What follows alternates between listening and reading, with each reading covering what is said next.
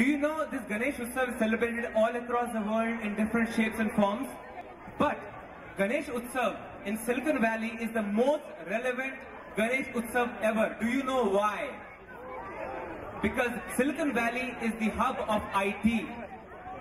And Ganesha himself is an IT guy. You know why?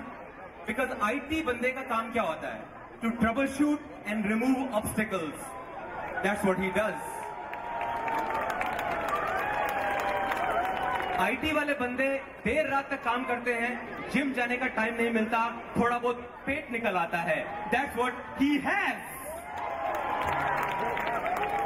IT वाले बंदे हमेशा computer के सामने बैठते हैं and in front of them they always have a mouse and that's what he has so लिए जोरदार तालियाँ